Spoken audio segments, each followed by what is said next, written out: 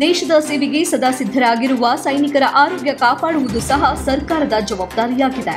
ಸೇವೆಯಲ್ಲಿದ್ದಾಗ ಪ್ರಾಣದ ಹಂಗು ತೊರೆದು ದೇಶಕ್ಕೆ ಸೇವೆ ಸಲ್ಲಿಸಿದ ಸಾವಿರಾರು ಸೈನಿಕರಿದ್ದಾರೆ. ಕೊರೋನಾದಂತಹ ಕಷ್ಟದ ಸಮಯದಲ್ಲೂ ಸಹ ದೇಶಕ್ಕೆ ಅವಿರತ ಸೇವೆಯನ್ನ ದೇಶಕ್ಕೆ ನೀಡಿದ್ದಾರೆ. ದೇಶದಲ್ಲಿ ಸಂಪೂರ್ಣ ಲಾಕ್ಡೌನ್ ಘೋಷಿಸಿದಾಗಲೂ ಸೈನಿಕರ ಸೇವೆ ಮಾತ್ರ ನಿರಂತರವಾಗಿತ್ತು. ಹೀಗೆ ಪ್ರತಿ ವರ್ಷ ಸಾವಿರಾರು ಸೈನಿಕರು ಸೇವೆಯಿಂದ ನಿವೃತ್ತರಾಗುತ್ತಾರೆ. ಹೀಗೆ ನಿವೃತ್ತರಾದ ಸೈನಿಕರು ದೇಶದ ಸೇವೆಗೆ ಎಂದೆಂದಿಗೂ ಸಿದ್ಧರಾಗಿರುತ್ತಾರೆ. ಕೋವಿಡ್ ಸಮಯದಲ್ಲಿ ಇವರ ಆರೋಗ್ಯ ಅಷ್ಟೇ ಮುಖ್ಯ. ಹೀಗಾಗಿ ಜಾಲಹಳ್ಳಿ ಮಾಜಿ ಸೈನಿಕರ ಸಂಘ ವಾಯುಸೇನೆ ಅಧಿಕಾರಿಗಳ ಸಹಕಾರದಿಂದ ಹಿರಿಯ ನಾಗರಿಕ ಮಾಜಿ ಸೈನಿಕರಿಗೆ ಬೂಸ್ಟರ್ ಡೋಸ್ ನೀಡಲಾಯಿತು. ಈ ವ್ಯಾಕ್ಸಿನೇಷನ್ ಕಾರ್ಯಕ್ರಮದಲ್ಲಿ ಎಒಸಿ ಏರ್ ಕಮಾಂಡರ್ ನಾಯರ್ ಹಾಗೂ ಗ್ರೂಪ್ ಕ್ಯಾಪ್ಟನ್ ಜಾರ್ಜ್ ಅವರು ಸೇರಿದಂತೆ ಹಿರಿಯ ವಾಯುಸೇನೆ ಅಧಿಕಾರಿಗಳು ಪಾಲ್ಗೊಂಡಿದ್ದರು. ಈ ವೇಳೆ ಎಂಬಿಇಎ ಅಧ್ಯಕ್ಷ ಪ್ರಹ್ಲಾದ್ ಕುಲಕರ್ಣಿ ಅವರು ಮಾತನಾಡಿ, ನಾವು ಸೇವೆಗೆ ಯಾವಾಗಲೂ ಸಿದ್ಧ ಎಂದು ಹೇಳಿದ್ದಾರೆ. ನಾವು ಎಲ್ಲ ಸೀನಿಯರ್ ಸಿಟಿಜನ್ ನಮ್ಮ ಮಾಜಿ ಸೈನಿಕರ ಸೀನಿಯರ್ ಸಿಟಿಜನ್ ಇದ್ದಾರೆ. ಅವರಿಗೆಲ್ಲರಿಗೂ ಬೂಸ್ಟರ್ ಡೋಸ್ ಕೊಡ್ಲಿಕ್ಕೆ ನಾವು ಒಂದು ಕ್ಯಾಂಪ್ ಅನ್ನು ಏರ್ಪಾಡು ಮಾಡಿದ್ವಿ. ಬಿಬಿಎಂಪಿ ವೈದ್ಯಾಧಿಕಾರಿಗಳಿಗೆ ವಿನಂತಿಸಿಕೊಂಡಾಗ ಅವರು ಕೂಡ ಒಪ್ಪಿಕೊಂಡು ನೀವು ಬೂಸ್ಟರ್ ಡೋಸ್ ಅಲ್ಲೇ ತಗೋಬಹುದು ಅಂತ ಹೇಳಿ ತಮ್ಮ ಸಿಬ್ಬಂದಿಯನ್ನು ಇಲ್ಲಿ ಕಳಿಸಿಕೊಟ್ಟರು ಸುಮಾರು ಎಪ್ಪತ್ತೈದರಿಂದ ನೂರು ಜನ ಅದರಲ್ಲಿ ಭಾಗಿಯಾಗಿದ್ದರು ಎಪ್ಪತ್ತೈದು ಜನಗಳು ವ್ಯಾಕ್ಸಿನೇಷನ್ ತಗೊಂಡಿದ್ದಾರೆ. ಎಲ್ಲ ವಯಸ್ಸಾದವರಿದ್ದರು ನೂರು ವರ್ಷವರು ಬಂದಿದ್ದರು ತೊಂಬತ್ತೇಳು, ತೊಂಬತ್ನಾಲ್ಕು ವರ್ಷದವರು ಬಂದಿದ್ದರು ಹೀಗಾಗಿ ನಮ್ಗೆ ತುಂಬಾ ಖುಷಿ ಆಯ್ತು.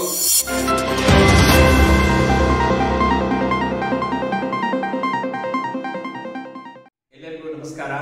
ಎಲ್ಲರಿಗೂ ಗಣರಾಜ್ಯೋತ್ಸವದ ಶುಭಾಶಯಗಳು. ನಾನು ಪ್ರಹ್ಲಾದ್ ಕುಲಕರ್ಣಿ. ನಮ್ದೊಂದು north Bangalore ex servicemen association ಅಂತಿದೆ. ಅದರ ಅಧ್ಯಕ್ಷ ನಾನು. ಇವತ್ತು ಗಣರಾಜ್ಯೋತ್ಸವದ ಅಂಗವಾಗಿ ನಾವು ಎಲ್ಲ ಸೀನಿಯರ್ ಸಿಟಿಜನ್ ನಮ್ಮ ಮಾಜಿ ಸೈನಿಕರ ಸೀನಿಯರ್ ಸಿಟಿಜನ್ ಇದ್ದಾರೆ. ಅವರಿಗೆಲ್ಲರಿಗೂ ಬೂಸ್ಟರ್ ಡೋಸ್ ಕೊಡಲಿಕ್ಕೆ ನಾವು ಒಂದು ಕ್ಯಾಂಪ್ ಅನ್ನು ಏರ್ಪಾಡು ಮಾಡಿದ್ವಿ.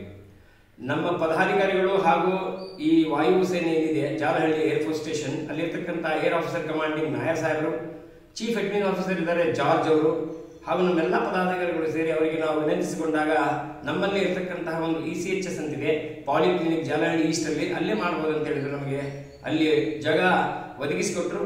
ಅದೇ ರೀತಿ ನಾವು ಬಿ ಬಿ ಎಂ ಪಿ ವೈದ್ಯಾಧಿಕಾರಿಗಳಿಗೆ ವಿನಂತಿಸಿಕೊಂಡಾಗ ಅವರು ಕೂಡ ಒಪ್ಪಿಕೊಂಡು ನೀವು ಬೂಸ್ಟರ್ ಡೋಸ್ ಅಲ್ಲೇ ತಗೋಬಹುದು ಅಂತ ಹೇಳಿ ತಮ್ಮ ಸಿಬ್ಬಂದಿಯನ್ನು ಇಲ್ಲಿ ಕಳಿ ಕಳಿಸಿಕೊಟ್ರು.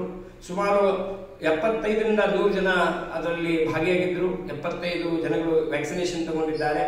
ಎಲ್ಲ ವಯಸ್ಸಾದವರಿದ್ರು ನೂರು ವರ್ಷವರು ಬಂದಿದ್ರು, ತೊಂಬತ್ತೇಳು, ತೊಂಬತ್ನಾಲ್ಕು ವರ್ಷದವರು ಬಂದಿದ್ರು. ಹೀಗಾಗಿ ನಮಗೆ ತುಂಬಾ ಖುಷಿ ಆಯಿತು. ಈ ಎನ್ ಬಿ ಎ ನಾವು ಪ್ರಸಿದ್ಧಿ ಹೊಂದಿದ್ದು ಕೇವಲ ಈ ಸಮಾಜ ಸೇವೆಗಾಗಿ, ನಾವು ಮಾಜಿ ಸೈನಿಕರಾಗಿ ಇದ್ರೂ ಕೂಡ ಇವಾಗಲೂ ನಾವು ಸಮಾಜ ಸೇವೆಯನ್ನು ಮಾಡಲಿಕ್ಕೆ ಇಷ್ಟಪಡ್ತೀವಿ. ಆಮೇಲೆ ಯಾವುದೇ ರೀತಿಯಿಂದ ಸಮಾಜ ಸೇವೆ ಇದ್ರೆ ಅದನ್ನು ನಮಗೆ ತಿಳಿಸ್ಬೋದು. ನಾವು ಯಾವತ್ತೂ ತತ್ಪರರಾಗಿರ್ತೀವಿ ಈ ಸಮಾಜ ಸೇವೆ ಮಾಡಲಿಕ್ಕೆ.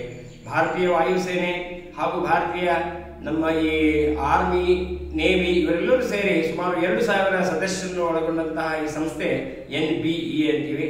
ಆ ಎನ್ ಬಿ ಎ ನಮ್ಮ ಈ ಲಕ್ಷ್ಮೀಪುರ ಕ್ರಾಸ್ ಅಲ್ಲಿದೆ ಎಲ್ಲರಿಗೂ ಯಾರು ಈ ಇದಕ್ಕೆ ಸದಸ್ಯರಾಗಿಲ್ಲ, ಅವರು ಕೂಡ ಸದಸ್ಯರಾಗಬಹುದು ಎಲ್ಲ ರೀತಿಯಂತಹ ವೆಲ್ಫೇರ್ ಅನ್ನು ನೋಡಲಾಗುವುದು ಯಾವುದೇ ರೀತಿ ಸರ್ಕಾರದ ಏನೇನು ನಮಗೆ ಸವಲತ್ತುಗಳು ಸಿಗಬೇಕು, ಅದ್ರ ಬಗ್ಗೆ ನಾವು ಹೋರಾಡ್ತೀವಿ. ಹೋರಾಡೋದಂದ್ರೆ ಒಳ್ಳೆ ರೀತಿಯಿಂದ ಹೋರಾಡೋದು ಆ ಥರ ಹೋರಾಟ ಮಾಡಿ ನಾವು ಎನ್ ಬಿ ಎದಿಂದ ಏನು ಅವರಿಗೆ ಫಲ ಸಿಗಬೇಕು ಸರ್ಕಾರದಿಂದ, ಅದು ಸಿಗುವಂತೆ ನಾವು ನೋಡ್ಕೊಳ್ತೇವೆ. ಸೊ ಸುಮಾರು ಜನಗಳು ಬಂದು ಆ ಒಂದು ಕ್ಯಾಂಪನ್ನು ಯಶಸ್ವಿಯಾಗಿ ಮಾಡಿದ್ದಾರೆ. ಅವರೆಲ್ಲರಿಗೂ ನಾನು ಧನ್ಯವಾದಗಳನ್ನು ತಿಳಿಸಿ ನನ್ನ ಎರಡು ಮಾತುಗಳನ್ನು ಮುಗಿಸುತ್ತೇನೆ. ಥ್ಯಾಂಕ್ ಯು ನಮಸ್ಕಾರ. ಎಲ್ಲರಿಗೂ ಗಣರಾಜ್ಯೋತ್ಸವದ ಶುಭಾಶಯಗಳು. ನಾನು ಪ್ರಹ್ಲಾದ್ ಕುಲಕರ್ಣಿ ಅಂತ ಹೇಳಿ. ನಾನು north Bangalore ex servicemen association ಅಧ್ಯಕ್ಷ. ಅದನ್ನೇ ಕನ್ನಡದಲ್ಲಿ ಉತ್ತರ ಮಾಜಿ ಸೈನಿಕರ ಸಂಘ ಅಂತ ಕರಿತೀವಿ. ಅದು ಸುಮಾರು ಒಂದು ಹತ್ತು ವರ್ಷದಿಂದ ನಾವು ಈ ಫೌಂಡೇಶನ್ ಮಾಡಿದ್ವಿ. ಒಂದು ನಾಲ್ಕು ಜನರಿಂದ ಪ್ರಾರಂಭವಾದಂತಹ ಎನ್ ಬಿ ಎ, ಇವತ್ತು ಸುಮಾರು ಎರಡು ಸಾವಿರಕ್ಕಿಂತ ಹೆಚ್ಚು ನಾವು ಮಾಜಿ ಸೈನಿಕರಿದ್ದೀವಿ. ಮಾಜಿ ಸೈನಿಕರಂದರೆ ಏರ್ಫೋರ್ಸಿಂದ ನೇವಿಯಿಂದ ಏರ್ಫೋರ್ಸಿಂದ ಹಾಗೂ ಈ ಆರ್ಮಿಯಿಂದ ಕೂಡ ಇದ್ದಾರೆ.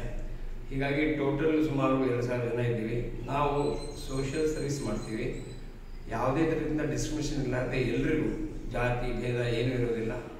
ಎಲ್ಲರಿಗೂ ನಾವು ಸಹಾಯ ಹಸ್ತವನ್ನು ಚಾಚ್ತೀವಿ. ಆ ಪ್ರಕಾರವಾಗಿ ಇಂದು ಗಣರಾಜ್ಯೋತ್ಸವ ದಿನ ಇದೆ. ಹಿರಿಯ ನಾಗರಿಕರಾದಂಥ ನಮ್ಮ ಮಾಜಿ ಸೈನಿಕರಿಗೆ ಎಲ್ಲಿ ವ್ಯಾಕ್ಸಿನೇಷನ್ ತಗೋಬೇಕು ಅಂತ ಗೊರು, ಗೊತ್ತಿರೋದಿಲ್ಲ. ಈಗ ಸ್ಪೆಷಲಿ ಕೋವಿಡ್ ಇರೋದರಿಂದ ಈ ಬೂಸ್ಟರ್ ಡೋಸ್ ತಗೋಬೇಕಂತ ಹೇಳಿ ಇದೆ.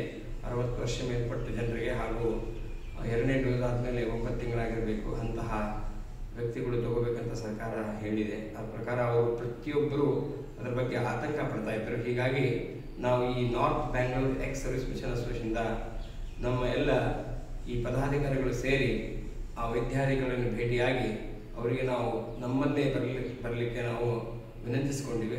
ಅದೇ ಪ್ರಕಾರ ನಮ್ಮ ಈ Jalahalli air officer commanding air commander Nair ಸಾಹೇಬರು, ಅದರಲ್ಲಿ ಚೀಫ್ ಅಡ್ಮಿನ್ ಆಫೀಸರ್ ಇದ್ದಾರೆ ಜಾರ್ಜ್ ಸಾಹೇಬರು ಅವರು ಕೂಡ ನಮಗೆ ಸಮ್ಮತಿ ನೀಡಿ ಆ ಇ ಸಿ ಎಚ್ ಎಸ್ ಇದೆ ನಮ್ಮ ಜಾಲಹಳ್ಳಿ ಈಸ್ಟಲ್ಲೇ ಒಂದು ಪಾಲಿಕ್ಲಿನಿಕ್ ಇದೆ. ಅದಕ್ಕೆ E C H S polyclinic ಅಂತ ಹೇಳ್ತೀವಿ. ಅಲ್ಲೇ ನೀವು ಮಾಡ್ಬೋದು ಅಂತ ಹೇಳಿದ್ರು. ನಾವು ಇಪ್ಪತ್ತಾರು ಜನವರಿ ಎರಡು ಸಾವಿರದ ಇಪ್ಪತ್ತು